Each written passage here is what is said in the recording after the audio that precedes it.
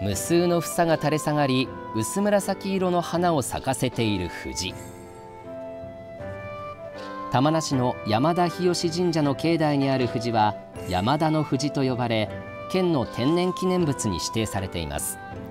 樹齢はおよそ200年と言われ訪れた人たちはほのかに漂う甘い香りの中写真を撮るなどして花見を楽しんでいました。